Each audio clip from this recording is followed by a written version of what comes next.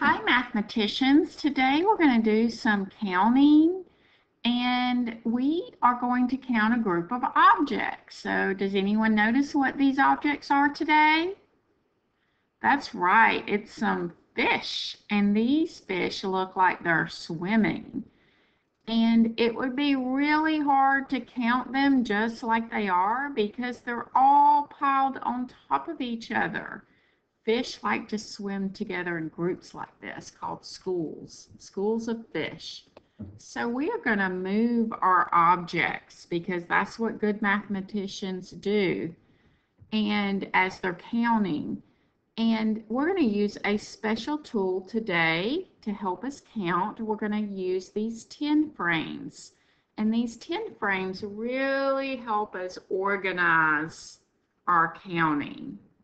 Okay, you ready? Let's start to moving our fish to see how many we have. Can you count out loud with me? One,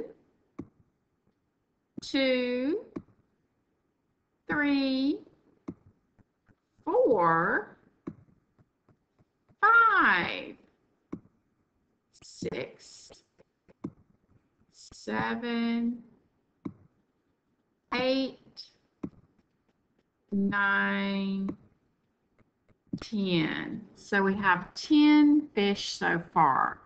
Do you think we will have enough fish to fill our next 10 frame?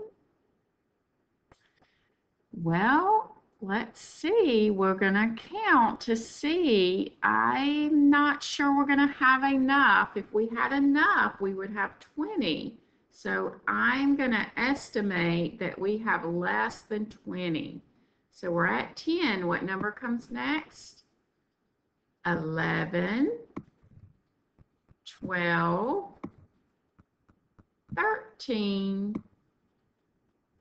14, 15, 16. We have 16 fish. I'm going to write the number 16. And I'm also going to write it in word form.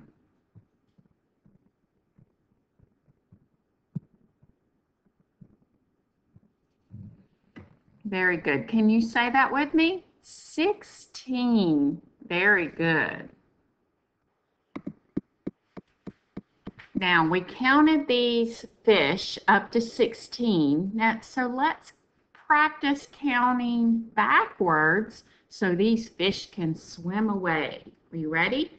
So we have 16. Now we have 15, 14,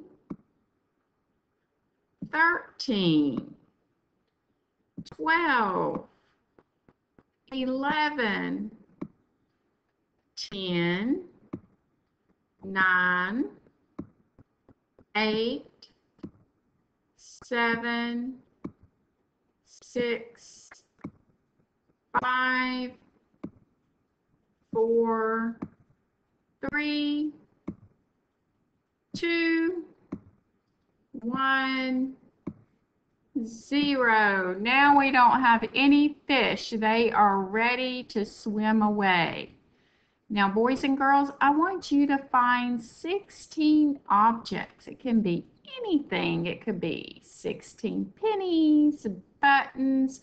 It could be Cheerios. It could be anything. Find 16 things to count and practice counting forward and backwards. Great job.